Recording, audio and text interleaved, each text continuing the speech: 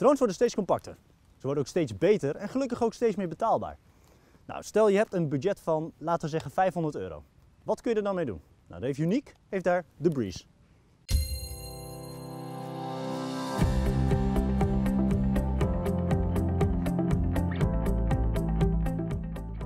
Nou, eh, vandaag eh, staan we in de wildernis. We hebben afstand gedaan eh, van het stadsleven. We zijn op de, op de Veluwe. En we hebben al behoorlijk wat herten gezien, hè? dus dat was heel gaaf om te zien. En nou ja, het leek ons een mooie locatie om zo jong als deze te testen. Ja, je zou denken het is een broodtrommel, maar hier zit hij dus gewoon in. Zo klein dat hij is, de Breeze. Dus 385 gram. Dus als je kan zien, zo is hij dan verpakt. Ja, het gave ervan is dus dat je gewoon dit meeneemt en dat is het. Ik heb hem dus gewoon in mijn rugtas meegenomen. Uh, en ja, je hebt eigenlijk alleen je telefoon nodig om hem te besturen, dus dat is wel heel gaaf. Nou, fotografie doet hij ook op 13 megapixels. En als je gaat kijken naar de drone zelf, vlieg je daar 12 minuten mee op de batterij. Nou, dan moeten we even kijken of dat ook zo blijkt te zijn. Hij kan 80 meter hoog vliegen en de snelheid zit op 18 km per uur. Nou, moet je kijken, daar ziet er fantastisch uit. Zo klein dat hij is. Nou, wat leuk is ook dat, dat die propellers die kun je dus terugvouwen. Dan past het gewoon in het doosje. Dat is heel mooi. En je kunt ook nog uh, gebruik maken van de guards. Mocht je op een gegeven moment toch uh, ja, in een omgeving vliegen met mensen. Ja, dan is het toch een stukje veiliger voor de ogen bijvoorbeeld. Hier niet nodig. Nou, wat je dus nodig hebt is alleen je telefoon om te bedienen. Dat maakt het dan wel weer echt een stuk compacter. Hè? Dat je niet meer met een afstandsbediening loopt. dan gaan we nu naar de app. Even terug. Kijken we even. Dus je moet gewoon de BreezeCam app hebben. Die is gewoon gratis te downloaden. En daarmee ja, bestuur jij je camera en dan kun je instellingen aanpassen. Je kunt ook je uh, bestanden delen meteen, dus dat is ook heel gaaf. Nou, we zetten hem even aan. Wat belangrijk is, als je aanzet, moet je natuurlijk eerst even connectie maken met de wifi.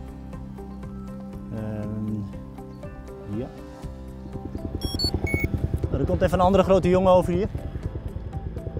Ik denk dat die net wat geavanceerder is dan die van ons. Nou, daar heb je dus eigenlijk jouw uh, je joystick. En dan met take-off kan je naar boven. Hier kan je dus je camerahoek aanpassen zoals je ziet. De camera zit aan de voorzijde. Aan de voorzijde. Dus als ik nu de camera op en neer doe, zie je, dan gaat hij naar beneden. Doe ik hem naar boven, gaat hij naar boven. Even kijken, dan zetten we hem in ieder geval aan. Nou, dan heb je hier de knop take-off. Als je op de take-off knop drukt, dan, slide, dan moet je nog even een, eh, een slide maken over het beeld. Zodat je het echt bevestigt, dat je niet per ongeluk het ding laat opstijgen. Dus nu gaat hij omhoog. Ik ga even wat afstand nemen. Kijk, hier gaan we.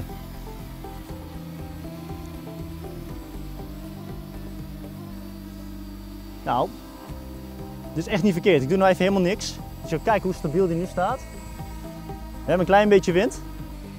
Dit is wel heel mooi. Ik moet zeggen dat hij heel uh, makkelijk te besturen is. Dingetje wat ik wel even eh, ervaar met het uh, gebruiken van, uh, van de telefoon is je voelt niet echt wezenlijk je knoppen. Dus je moet er af en toe blijven kijken waar zit je met je vinger. En dan gaan we weer terug naar de controllers. En ik zou zeggen, ga maar.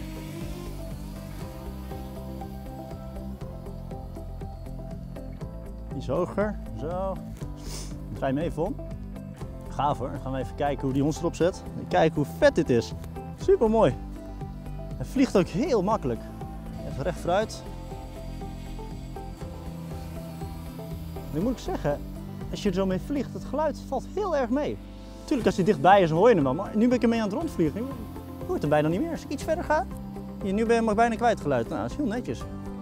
De drone vliegt eigenlijk wel stabiel. Alleen op het moment dat je het videomateriaal terugziet, dan zie je dus inderdaad dat het behoorlijk trilt. En ook op het moment dat de drone van links naar rechts gaat, zie je dat het heel erg heen en weer gaat op beeld. De beelden die je wel kunt gebruiken zijn de beelden van de drone in constante beweging. Dus of je nou naar links of naar rechts gaat, de constante beweging is bruikbaar. Zodra je toch op een gegeven moment stopt of weer van links naar rechts gaat, dan is daar weer het moment dat het best wel storend is, want het beeld kantelt nogal. Drukken we hieronder even op de landmodus landknop, iets die kant op. Stoppen. Kijk. Perfect. Ik ga nu uh, proberen de, de follow me modus.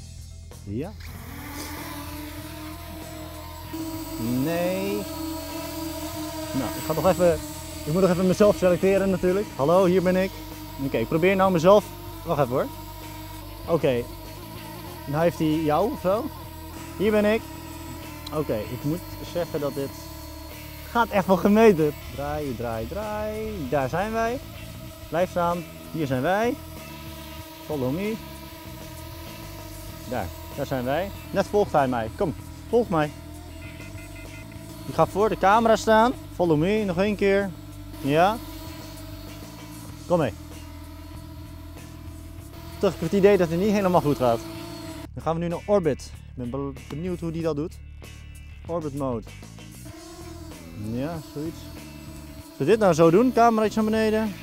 En nu om me heen draaien. Ik vraag me alleen af in hoeverre ook echt, ook echt een rondje maakt. Want daar zit ik een beetje mee. Hij zou nu een rondje moeten maken om me heen. Maar dat hij niet mij pakt of zo.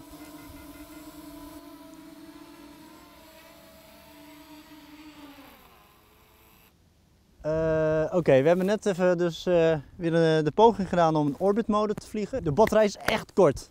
12 minuten gaan we niet halen. Uh, laten we wel wezen. We hebben echt niet 12 minuten gevlogen met dit ding. Op het moment dat hij al aangeeft batterij is laag, dan gelijk al naar een veilig, ja, een veilig stukje. Dat had ik dus net nu niet. Ga dan een veilig stukje waar je kunt landen. Want ik wilde hem dus eigenlijk hier naartoe manoeuvreren. Of eigenlijk hier waar ik een mooie pad gestand. Is hem niet gelukt. Hij gooit hem nu gewoon naar beneden. Zelf vind ik de interface behoorlijk uitgebreid. Dus Um, het is natuurlijk een beetje gewenning. Dit is natuurlijk voor mij een eerste keer dat ik er zo mee vlieg. Dus ik moest af en toe even kijken, goh, waar zit die knop en waar zit die knop. In de verschillende modussen zie je ook, dus van Orbit naar bijvoorbeeld Pilot, dan zie je ook weer dat de interface iets verandert. Dus de knoppen weer even net anders zijn of net wat meer knoppen krijgt. Dus daar moet je even op letten. Het punt dat je dus de camera en de drone wat minder subtiel kan bewegen, is misschien op te lossen met een firmware update. Dus misschien voor Unique goede om het daarmee op te lossen. Ik denk wel dat het mogelijk moet zijn. Als ik kijk naar wat je krijgt voor je geld, nogmaals, het is super klein. Eh, ik heb hem dus gewoon echt in mijn rugtas meegenomen. Mensen weten niet dat je een drone bij je hebt. Je hebt gewoon je telefoon altijd bij je. Zorg alleen dat die ook natuurlijk vol is, want je gaat met je wifi werken. Uh, maar als je gaat kijken naar mijn ervaring nu, ben ik erg positief over de drone. Weet wel, een extra batterij is wel echt een, uh, een stukje veiligheid in dit geval. Dus een extra batterij is geen overbodige luxe.